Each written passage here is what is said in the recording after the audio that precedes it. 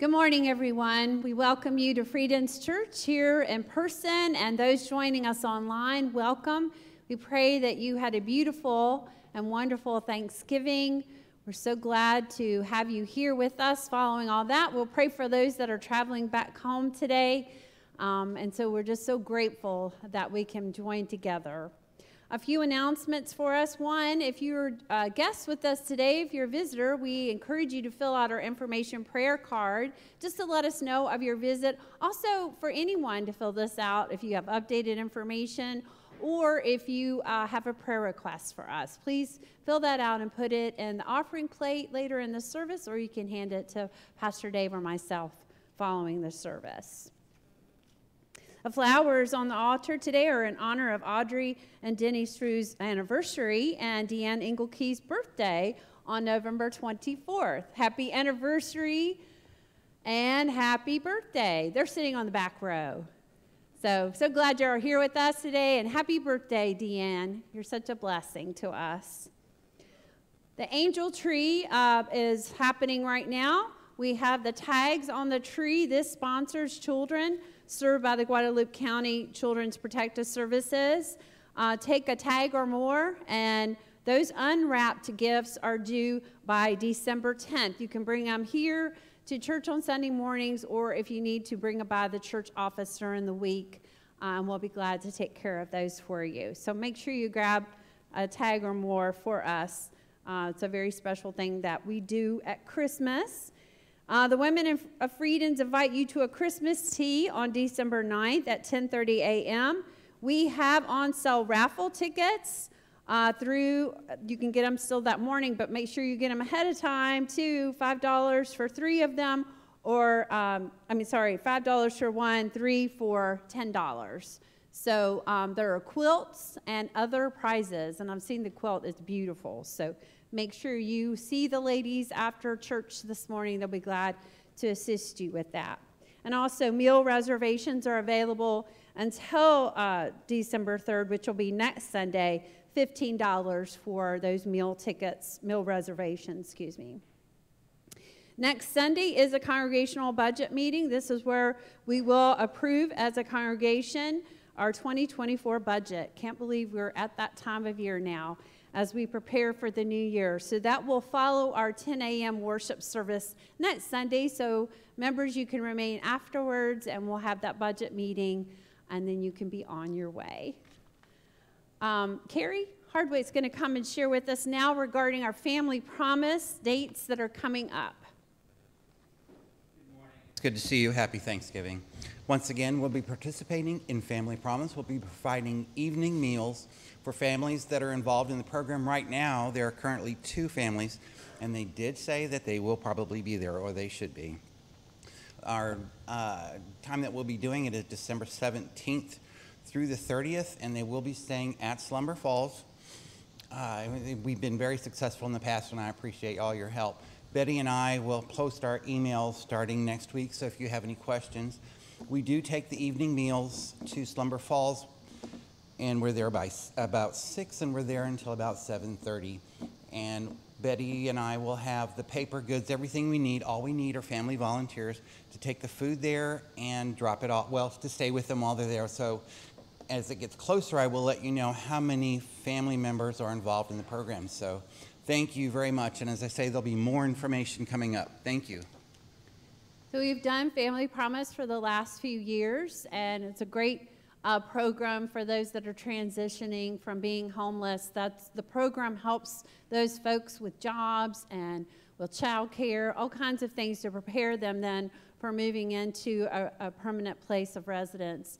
Um, Slumber Falls Camp uh, is the same Slumber Falls Camp that closed and now has been bought by Friends of Slumber Falls, so it's still part of our um, congregation and uh, it will be held up. That's on River Road. So if you want more information, please see Carrie or Betty Shriver or myself or Pastor Dave. We'll be glad to help you.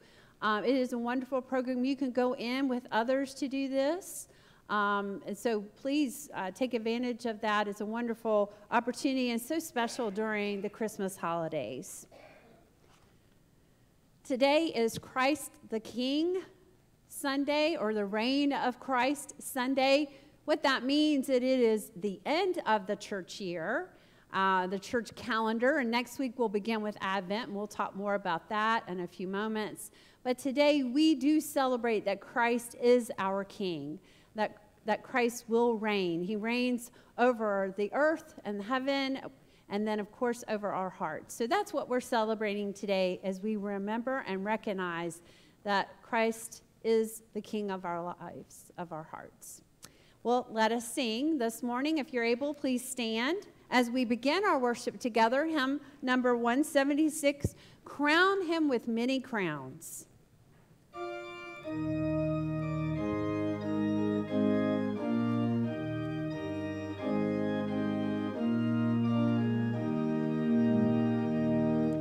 Crown him with many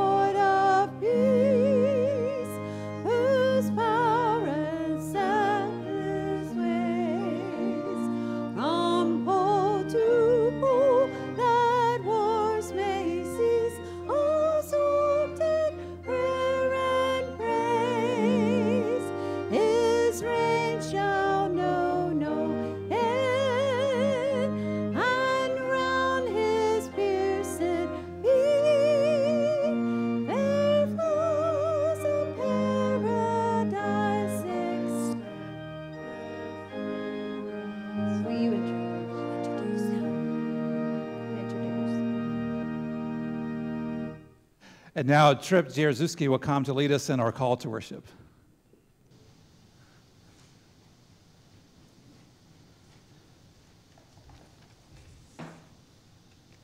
Join me in our call to worship. Make a joyful noise to the Lord, all the earth. Worship the Lord with gladness, come. His presence with singing. Know that the Lord is God. It is He. It is He that made us, and we are His. We are his people and the sheep of his pasture. Enter His gates with thanksgiving, and His courts with praise. Give thanks to God. Bless His name. For the The Lord Lord is good. His steadfast love endures forever, and his faithfulness to all generations. Our praise song this morning is Forever, which speaks of that steadfast love that goes on, endures forever.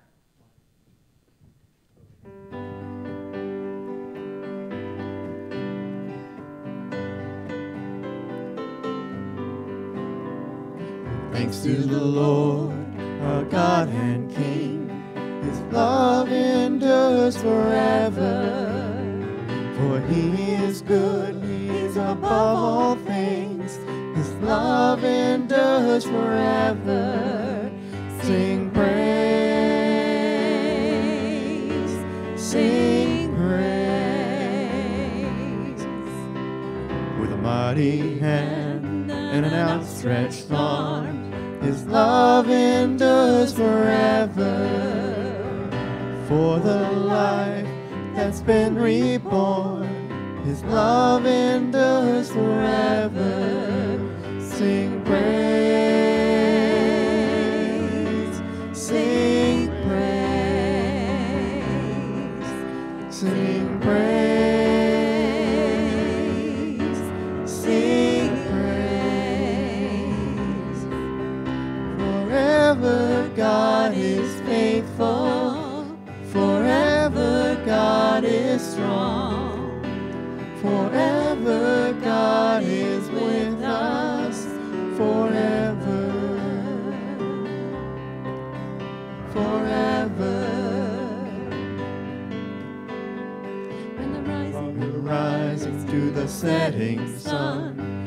love endures forever.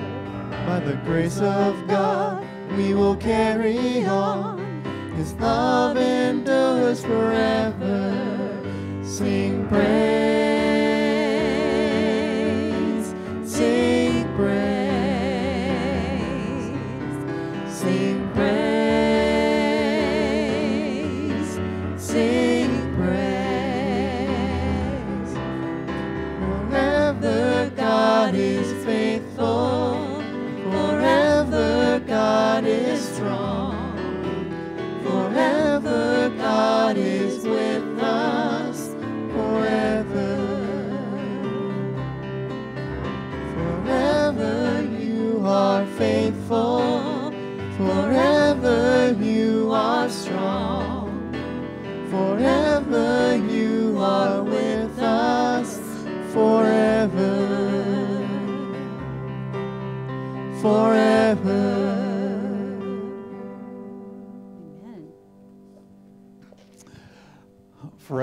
Forever is. There's nothing that separates us from God's love and presence in our lives. Nothing does that. For those who are here today, it's great to see you. Those who are watching from home, be with us now today. I want you to do one thing with me. I want you to take a deep breath in. Everybody, deep breath in. Inhale. Not everybody's inhaling. Inhale. Now, slowly exhale. Doesn't that feel good? It's like the presence of God. The peace of Christ be with you all that share and pass the peace of Christ with one another.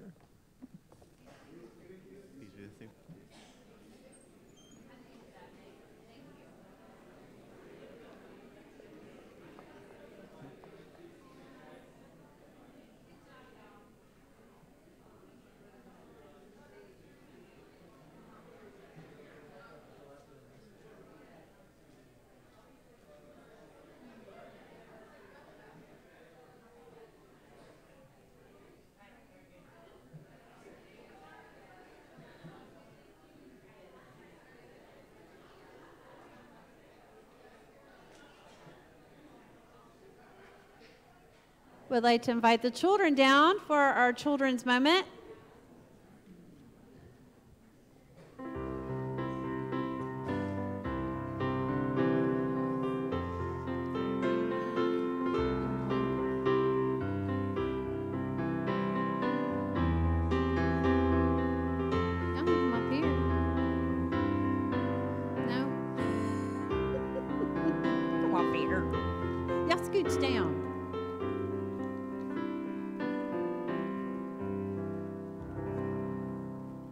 Okay, I've got us three women and all these guys.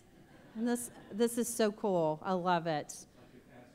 This is like my past week. Yes, I was with my step family in Virginia and we had seven grandsons there. Not my grandsons, but those were all my nephews and it, except for my son. It was amazing to have all those guys together. It was lots of fun.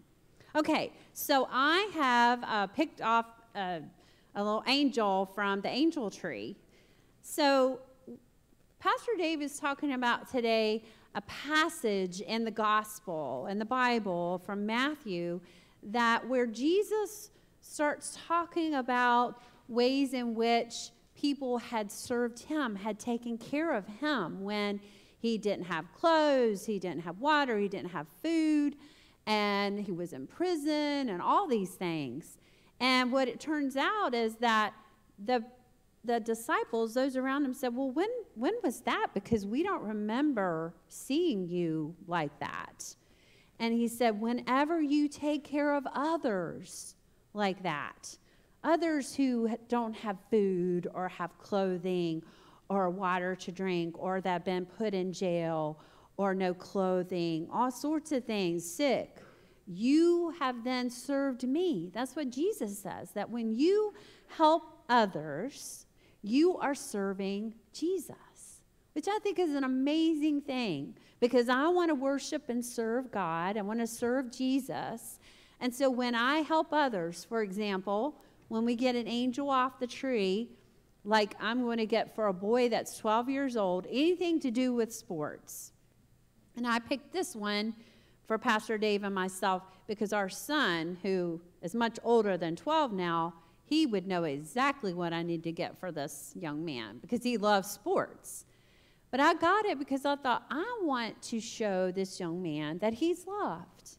And that is serving Jesus. When I do something eh, like this, which seems very simple to me, it's easy. I can go to the store, I can get what I want to get for this young man, and hopefully it will make his Christmas even better. And so, whenever I do something like that, or I help with what we were talking about with the homeless families, that family promise, and some other projects that we will have coming up, we do that because we are serving. That's part of our, our job as Christians is to serve others. So, Christmas coming up soon will be a great opportunity. It reminds us of how we can do this all year. We can bring gifts, we can take things, we can take food and water and all sorts of things and ways in which we can serve Jesus by serving others on the behalf of Jesus. So it's really cool. I love that we can do that. All right, let me say a prayer for us. Oh, Holy God, I thank you for these young ones who love you, who show up and who are present with us and make our day. And Lord, I ask that you bless them and all that they do and help each of us as we serve you by serving others, by caring for others. It is in your name we pray. Amen. And I want you to remember how much God loves you.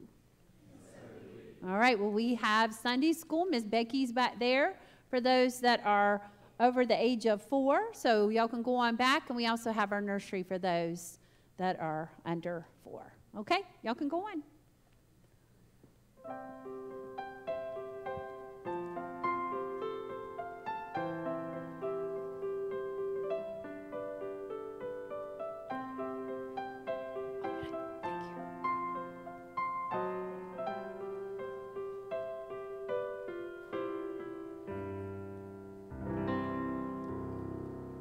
So, next Sunday begins Advent, which is four weeks of preparation uh, for the coming of Christ. So, Advent is not only where we prepare our hearts for Christmas, but it also focuses on the second coming of Jesus. And I thought this video would be a great way to remind us of the season.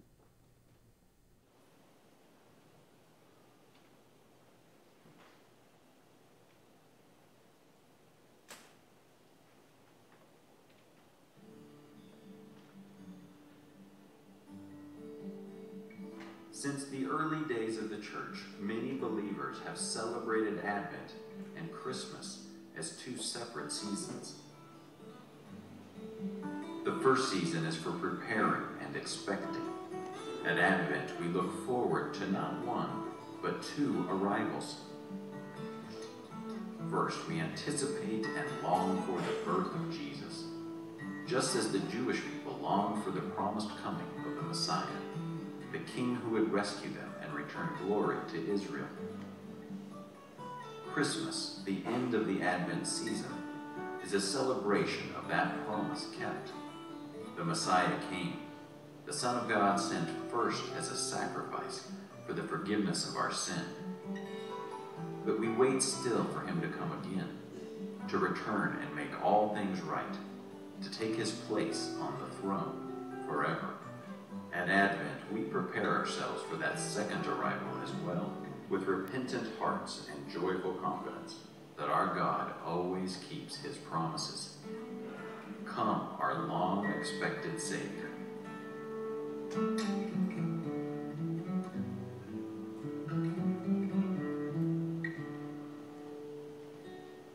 This Advent season, our theme will be the gift of presence not presents as in gifts, but the gifts of being present.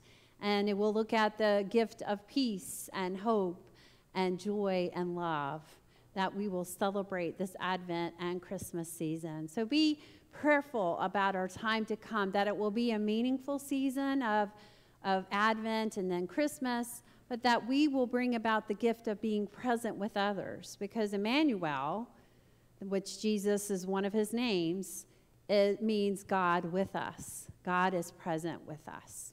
So today we go to the Lord in prayer.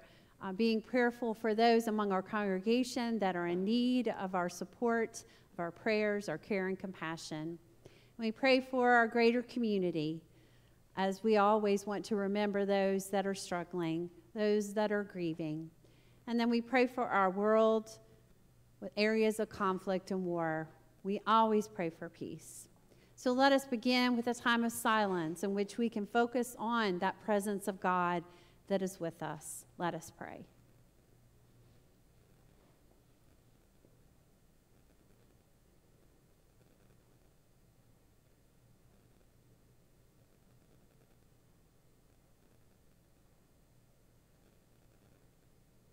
Gracious and loving God, we thank you that you are here with us, that you have been waiting for us to worship you that you've walked beside us. May we acknowledge your presence. May we call on you throughout the day and throughout the night. You are always there, and nothing separates us from you. You're in our hearts and in our spirits. May we reflect on you as we go throughout the next several weeks, as we prepare for the birth of Jesus, and as we also think to the future, whenever that second coming of Jesus will be, we will not know, but we will be prepared. Oh, gracious God, we lift up those that need you. Perhaps they don't know that they need you, but we pray, oh God, that they will find you that we will be part of them finding you, that we will show compassion and care, that we will be hospitable and welcoming, that we will take time to be present and to show of the love of Jesus Christ. And in so doing, oh God, we will be serving you. We will be serving Jesus. We reflect on him being the king of our lives the one that reigns in our hearts, that we are part of his kingdom. We are brothers and sisters to Jesus. May we celebrate that. May we embrace that. And all that we do, how we live out our lives, how we share of the good news and how we live and how we speak. And may we always attempt to live out the words to the prayer that Jesus taught his disciples to pray Our Father, who art in heaven, hallowed be thy name. Thy kingdom come, thy will be done, on earth as it is in heaven. Give us this day our daily bread, and forgive us our debts as we forgive our debtors. And lead us not into temptation, but deliver us from evil. For thine is the kingdom and the power and the glory forever. Amen. Our offertory hymn this morning is hymn number 304 The King of Love, my shepherd is. Jesus is the shepherd of our hearts. If you're able, please stand as we sing together.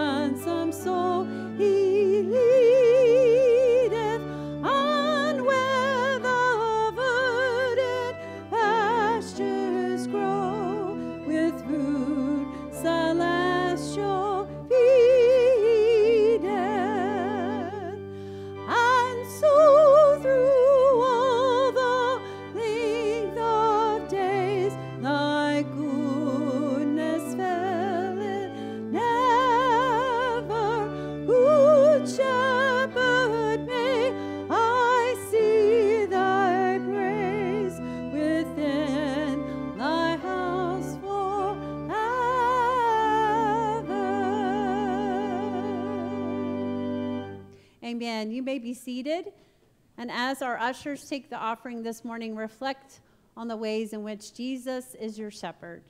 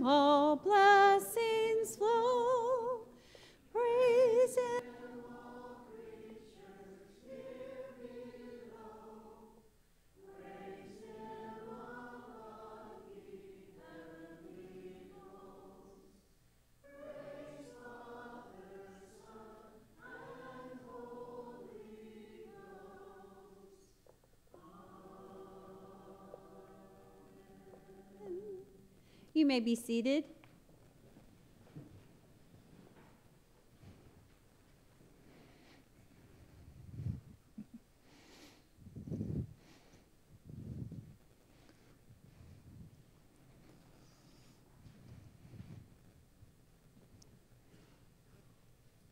Please join me in our prayer of illumination. Dear God, give eyes to see, ears to hear, and hearts and minds to understand your word. Amen. Scripture reading today is from the Gospel of Matthew, Matthew 25, verses 31 through 46. Hear these words the words of Jesus. When the Son of Man comes in his glory, and all the angels with him, then he will sit on the throne of his glory. All the nations will be gathered before him, and he will separate people from one another as a shepherd separates the sheep from the goats. And he will put the sheep at his right hand and the goats at the left. Then the king will say to those at his right hand, Come, you that are blessed by my Father, inherit the kingdom prepared for you from the foundation of the world. For I was hungry, and you gave me food. I was thirsty, and you gave me something to drink. I was a stranger, and you welcomed me. I was naked, and you gave me clothing. I was sick, and you took care of me. I was in prison, and you visited me. Then the righteous will answer him, Lord, when was it that we saw you hungry and gave you food, or thirsty and gave you something to drink? And when was it that we saw you a stranger and welcomed you, or naked and gave you clothing? And when was it that we saw you sick or in prison and visited you? And the king will answer them, Truly, I tell you, just as you did it to one of the least of these who are members of my family, you did it to me. Then he will say to those at his left hand, You that are accursed, depart from me into the eternal fire prepared for the devil and his angels. For I was hungry, and you gave me no food. I was thirsty, and you gave me nothing to drink. I was a stranger, and you did not welcome me, naked, and you did not give me clothing, sick and in prison, and you did not visit me. Then they will also answer, Lord, when was it that we saw you hungry or thirsty, or a stranger or naked, or sick or in prison, and did not take care of you? Then he will answer them, Truly I tell you, just as you did not do it to one of these, least of these, you did not do it unto me. And these will go away into eternal punishment, but the righteous into eternal life. Hear what the Spirit is saying to the church. So you're probably feeling pretty good until we got to this scripture passage, right? And we get to some words of judgment there, and we get to those, those, those trigger words that we'll find in scripture from time to time. Uh, when we get to uh, places like, oh, yeah, we're talking about devil now, and, and devil's angels, and fire, and places, and uh, places of torment, things we don't want to think about or talk about, and we get kind of nervous when they come up uh, judgment day kinds of, of language that we have. And it does, it, it, it, gets our attention very quickly. We're thinking, oh, yeah, there's this, there's this thing about the other side of what faith is for, for us. Well, I've got some good news for you today. Okay, one is don't worry. Don't worry, I want you to relax. We started this with the breathing technique when we passed the peace earlier. We can do it again if you need to. Take a deep breath in and exhale because probably many of you on Thursday, when you were gathered around your tables and with your families and your friends, and you were carving and serving up various kinds of meats and vegetables and, oh, by desserts, we may or may not have been thinking about, oh, yes, there are hungry people in the world that need to be fed or the people that were hungry were the ones around your table waiting anxiously for you now to serve them the food for Thanksgiving. And so, what we find in scriptures like this are moments that should give us pause, that we need to think about and hear the words of Jesus. But I don't want you to be anxious about it. And here's why this is not a message of like general condemnation for, for people. It really isn't. It may sound that way. And others, other people, other Christians, and maybe other pastors, preachers will use this, use these words, and use it as a way to point fingers at judgment, particular followers and Christians and congregations about this is the things you need to be doing now if you want to be saved. I'm here to tell you this is much more broader than simply a way, a path of salvation. It's deeper meanings to that, and we need to understand the deeper meanings of this because it leads us to what Jesus expects for us, what God wants us, and to deeper levels of care and compassion for, for the world. This is what this is about today. It's at the end of chapter 25 of Matthew. It's at the end of this long now time of teaching and preaching and healing of Jesus that began way back in Matthew chapter 5 with the Sermon on the Mount. Now it culminates with this because the next several chapters of Matthew will be when Jesus goes into Jerusalem. He is confronted there. He has this holy week beginning with Palm Sunday and through that week until that Maundy, Thursday, and Good Friday, the time of crucifixion and the resurrection. And then the last part of Matthew is this wonderful Great Commission the resurrection Christ gives to his followers of going into the world and doing these things as he has taught them to do. And the previous chapters with, with Matthew leading up to this is all these questions that people have for Jesus. Jesus being asked questions a lot often by, well, the Jewish leaders, the, the religious leaders of the time, his own disciples, people in the crowds, asking them Jesus questions when he says something. When he says things like, I'm going to be going to Jerusalem and I'll be put to death, but I will rise again. Or when he says that even the temple will be destroyed itself and the stones will fall away.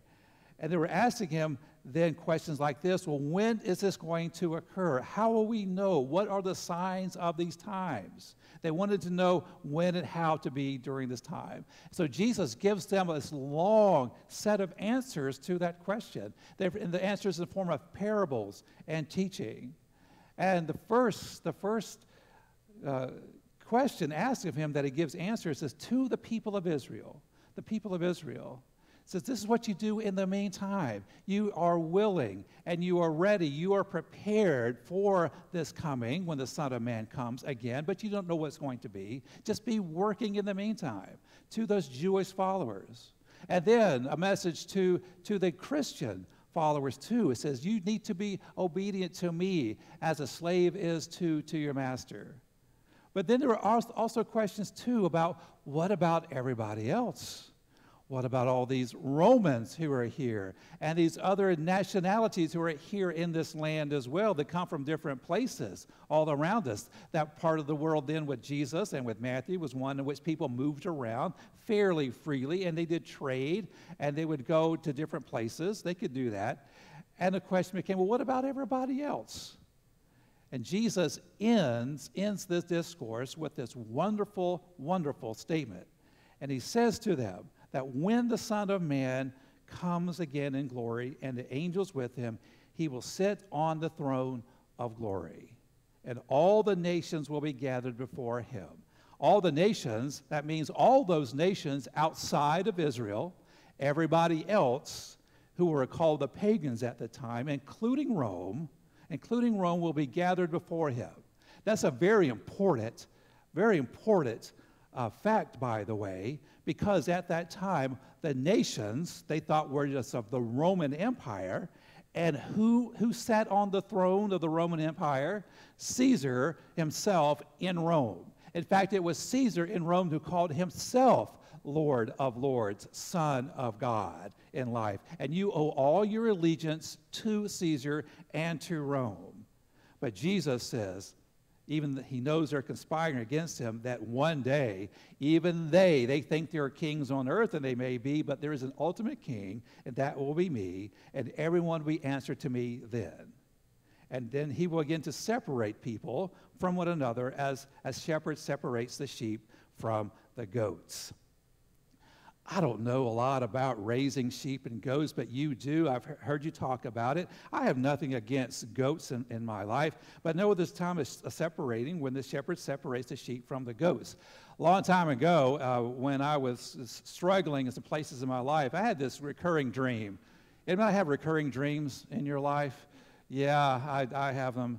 Uh, and one was this: that I was, I was, I was in heaven, and I was in a line, and there were two lines and every time I got to the line, I would see the two people in these lines, and I look up and I see the sign, one that says sheep and one was goats. And I was always thrilled at some point that I was in the sheep line. Thank goodness I was in the sheep line. I was happy about that. I knew nothing about being a sheep, but I was in the sheep line.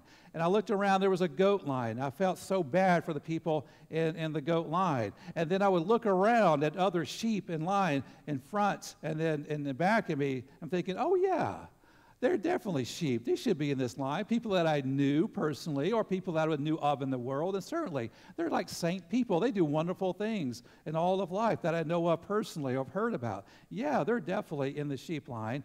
And, and, then, and then I would look over at the goat line and thinking, oh, you poor goats. You know, and I said, oh, I know that person personally. I never thought there would be a goat in, in my in the life and, and what it was to come. And then I started looking around to it more in the sheep line, and something that really would grasp get me, and maybe it's why I was having this dream, is people I thought were surely would never be in the sheep line. How did you get in this line? I know you personally. I know what you've done, what you've said, who you are. You're no sheep. Oh, no, no, no. You, you're, you're, you're, you're in the goat line. I don't know how you got in this line. How did you get in my line? And I look around the front and the back, people there. And I thought, oh my goodness, and what would really speak to me is I'm not the one who determines the sheep or the goats in life. I don't. You don't either. This is something that God does. So, what do we do?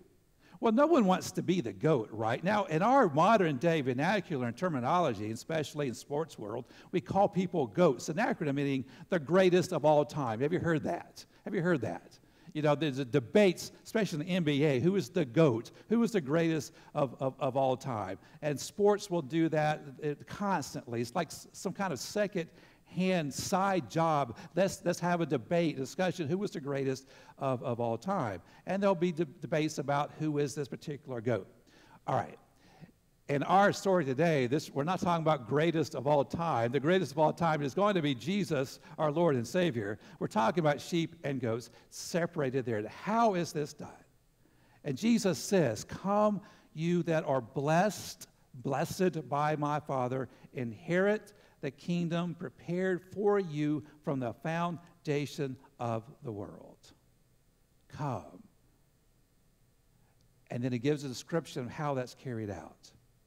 Now, here's the thing for the nation of Israel, the, the children of Abraham, sons and daughters of Abraham, given that great promise that they lived out through the life of Moses and the law of Moses, even to that day. There's not condemnation for them. There's this blessedness. Many of them, these followers were the poor and were the ones put in prison. By the time that Matthew is writing this gospel, to his community. This is a generation after the time of Jesus, and many of his followers were indeed the ones persecuted, stripped away of things. They were beaten, accursed themselves, followers of Jesus. They're the ones put into prisons. We, re- we know that from the time of the Apostle Paul. We know that from a lot of the legends of the early apostles of Jesus, how they were very much mistreated and executed for their faith. And in this first century world there in Rome, and later on it gets even worse, the persecution of Christians at the hands of the Romans. They knew what this was like to live this way.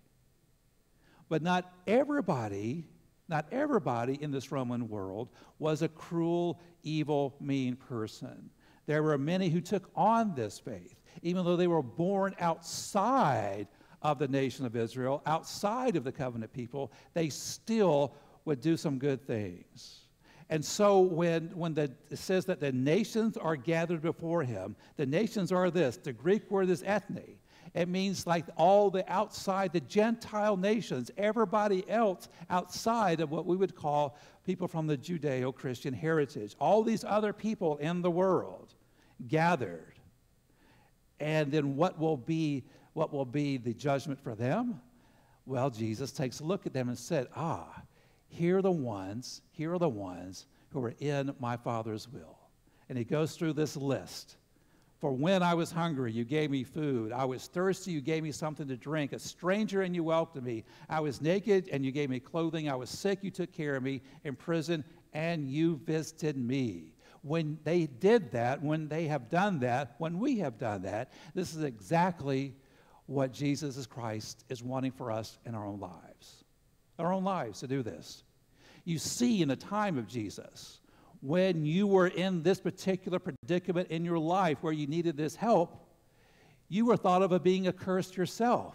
In fact, the religious leaders would say to people like that, You or your family must have done something wrong in your life. You must have sinned against God for you to be cursed and living this way. You are obviously not blessed the way we see blessing. Therefore, you are not of God. You can't be of God. You need to stay away from us because you're a sinful person afflicted by something. So you stay away. They were never a part of an accepted community. And Jesus changed all of that. All of that. Even if it wasn't their fault that they had, were living in such a way. And Jesus says, it doesn't matter.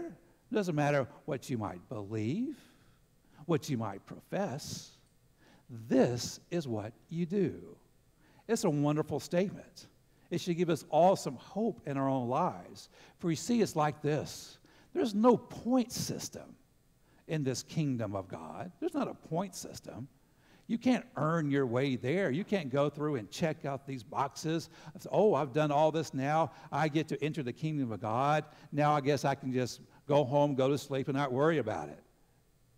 No, it's, it's what we are doing in the meantime, not motivated out of judgment, not motivated out of fear, not motivated out of anxiety or even threats to ourselves, simply motivated by the love we have of God and Jesus and for one another. That's the motivation. That's the motivation. And you have been participating in this much of your life, whether you have known it or not. How do we do this? Anytime, anytime we do small things in life that help the least of these, the most vulnerable in our society, are those moments in which we are doing this will of God in our own lives. We're doing this. You've been doing this.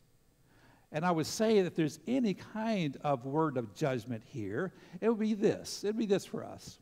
Some will say, well, Pastor Dave, I know I need to do these things and more of these things, whether it's involved in church or being active in one of our many, many helping organizations out there in the community that will help people like this. I, I just don't have time. I'm just too busy to do this. I wish I had more time.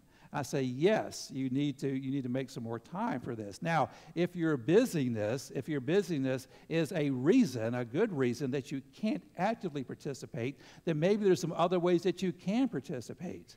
But busyness is no excuse for no participation at all. That, my friend, is where the judgment starts to play into our lives. There's no excuses for not doing the things that we can do whether it's here in Geronimo and this county, this area, this region, our state, around the world. Anytime that you go or give, you are participating in helping the least of these. This is exactly the message that we have as a church. And again, not out of judgment that you get to check off a box. No, it's compelled out of love. It's compelled out of love. And God knows your heart and your life and who you are, what you do. It, it reminds me of this. A number of years ago, a long number of years ago now, back in my college days, back in the 1980s. Oh, that hurts to even say that now. So, you know, this was the age of uh, leg warmers and fitness clubs, and you know, you know, remember who remembers the 80s? Remember the 80s? Yeah, a few of you remember the 80s. And uh, so, too long ago for many of you. So I, I knew there were the 80s because we're here now, but I don't remember the 80s. It was there. Uh, back in college, I remember taking one, this particular college course early on. It might have been my freshman year. I can't remember now.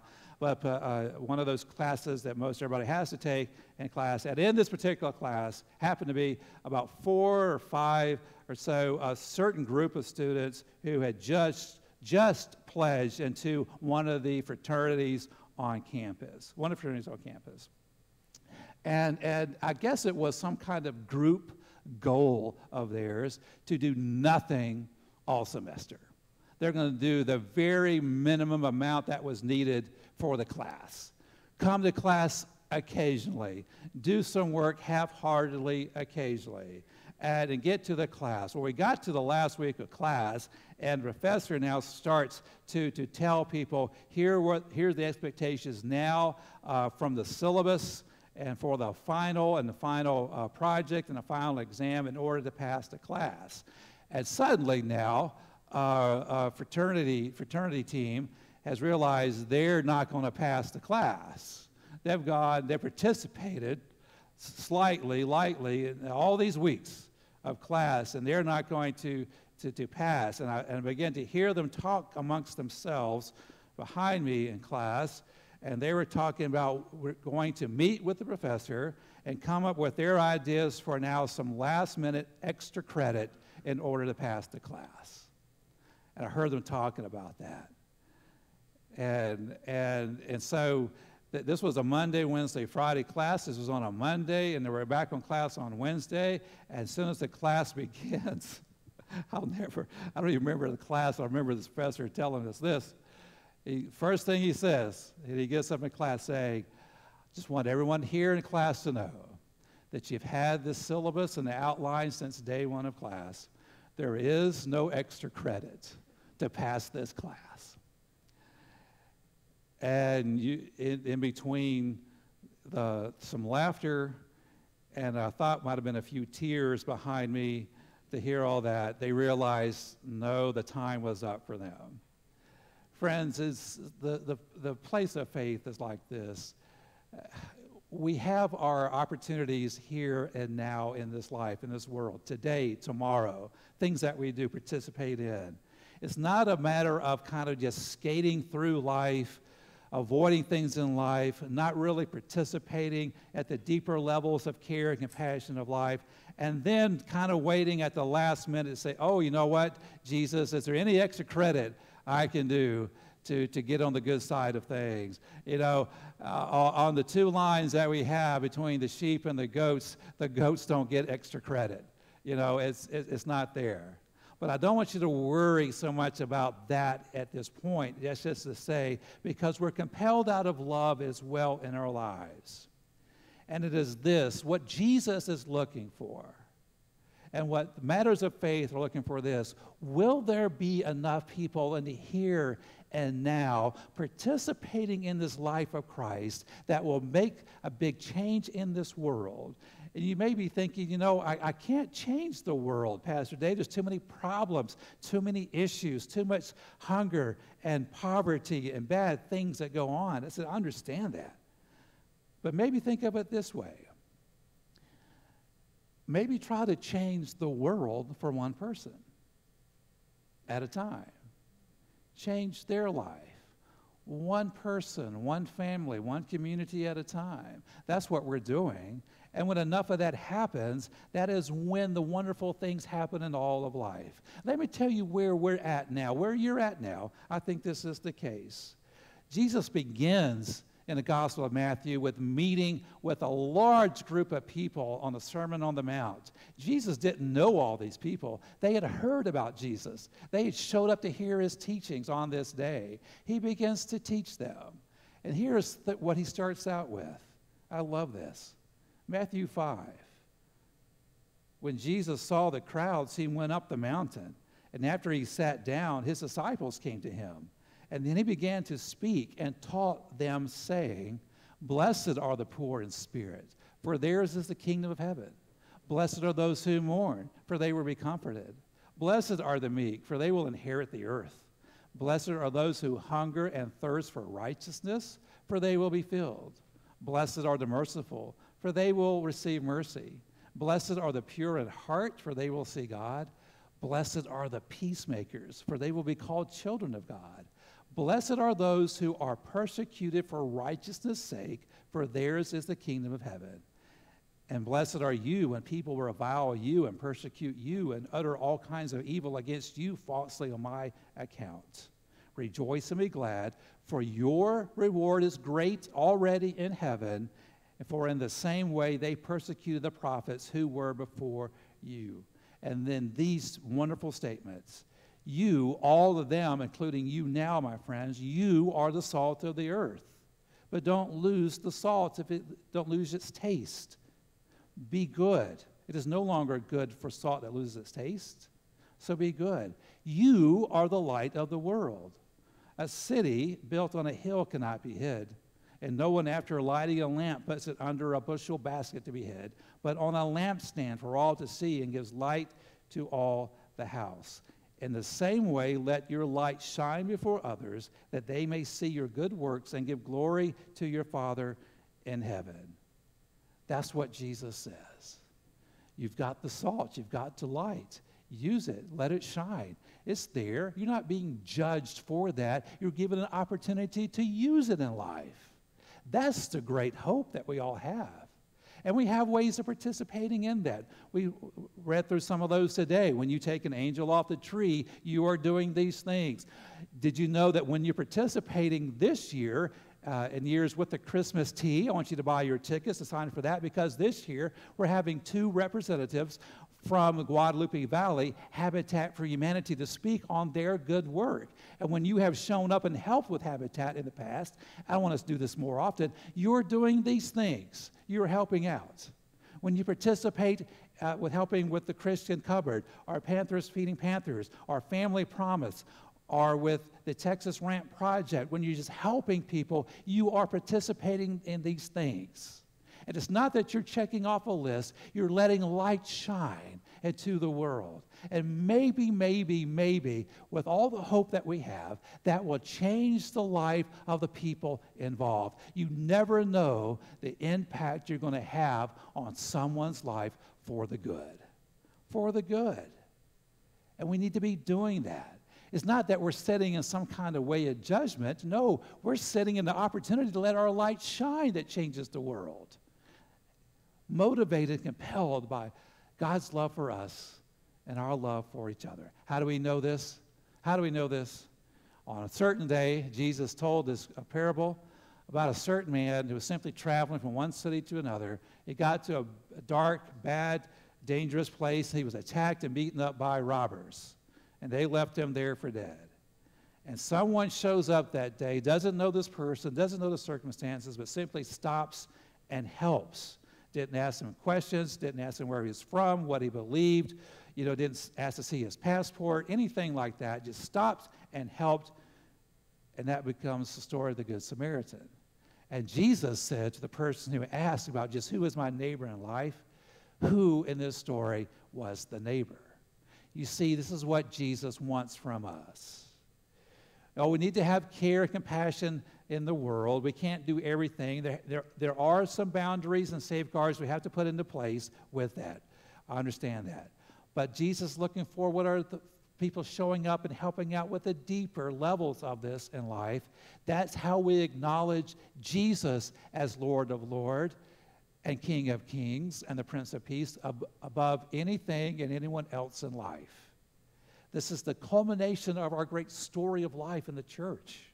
Can we live into this more fully each and every day, helping each other out helping others out in times of their need, not judging them for where they are in life, but simply helping them and doing it in the name and the love of Jesus Christ and of God? Recently, I heard this wonderful story, happened a number of years ago, I think, of a, of a certain youth group and people in the youth group and how they would meet and come and learn and they, and they would learn about the love of God for themselves, and they learned the stories of Jesus about helping out a neighbor and neighbor. And one particular day, one of the persons of this youth group was out and about, and they encountered some people of their own age who were just treating them uh, very badly and rudely, saying some very ugly, harsh, mean, mean things. And so, what do you do when you encounter that? Sometimes I don't even know myself uh, when you're encountering that. But this one person, because of what they had learned from this youth group and church in their lives, simply went up to the person and said to them, God loves you. And that was it. Didn't it mean to change their lives or the world or anything that day? Didn't throw any kinds of flaming arrows of judgment or punishment toward them. Just simply said, God loves you. And in a way that's saying, I love you too, and simply walks away. What was not known at the time was that later on, this very person who was the, the, the agitator in this and, and, and meanful and, and hateful speech and just probably very harsh and hurtful words shows up at this youth group months later and says that one day someone unexpectedly just simply said that God loves me.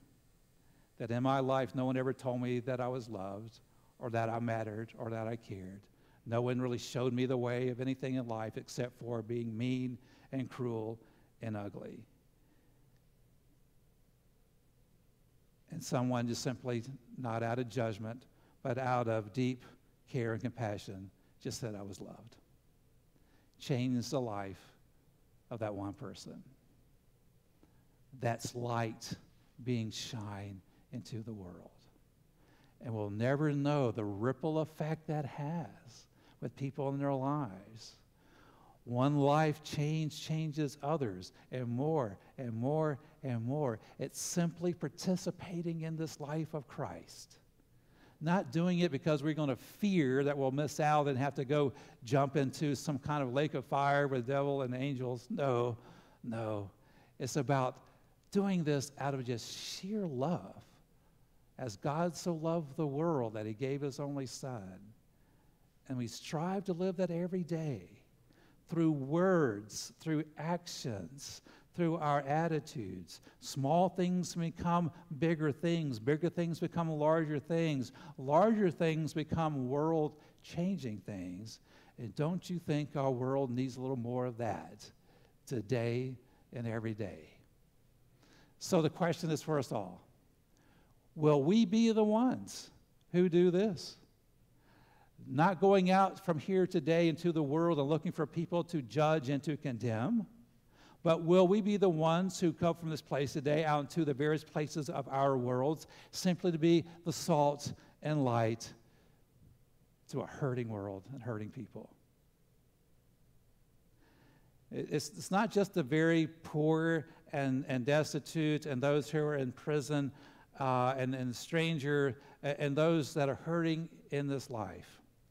Some of the most hurting people and don't feel that they're welcome people, maybe people in your own family, in your own neighborhoods, in your own places of business. People, because of some losses in life, some hurts and pains in life, just don't feel they ever belong or that they're loved or appreciated. They may be walking around looking, looking like they are indeed blessed on the outside. But maybe on the inside, there's so much inner turmoil through their spirits and in their minds, emotionally, mentally, spiritually, in their lives. Those are the ones, too, that when you show up and help them, it's as if you're helping Jesus Christ there on the spot. Do you see this? Do you get this? It's that easy. We have to overcome our own barriers to get there, our own biases and prejudices, our own hurts at times to get there. But God is with us, and that is the essence of Jesus, our King, our King today and forever. Let us pray.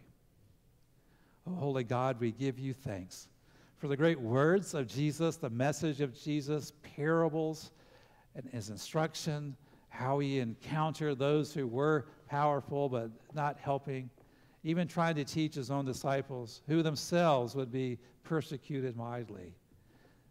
For that, though, O Lord, we know that Jesus indeed, even though he was crucified, that Jesus was resurrected by your power. And Jesus lives today as, as he did then physically he lives today with us spiritually.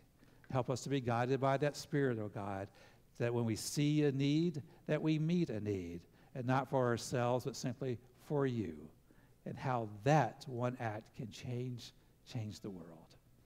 In Christ we pray. Amen. Our ending hymn today is hymn number 322. The church's one foundation. My friends, we are indeed have been built on a foundation. The foundation is there, and that is Jesus Christ. And now we build upon that foundation for this world. Let us stand and sing together.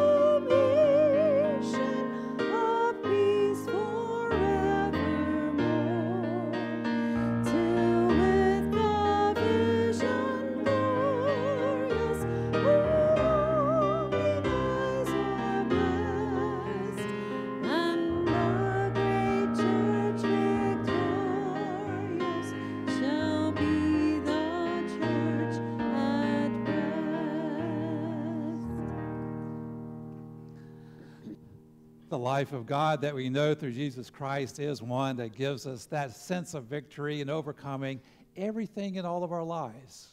It's simply a matter of putting our faith into practice and with sharing love.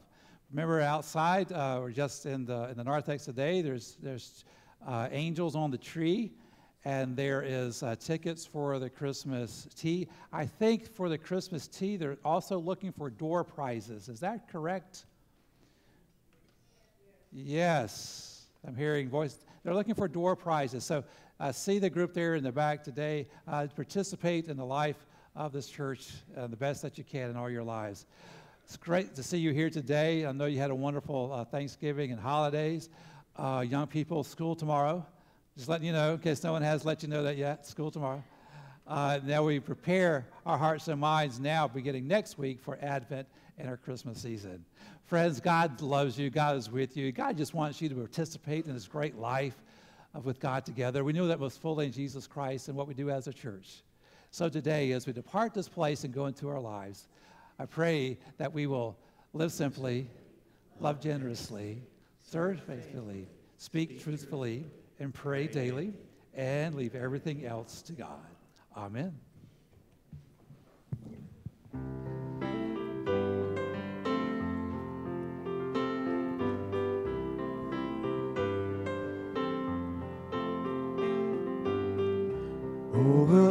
The earth you reign on high.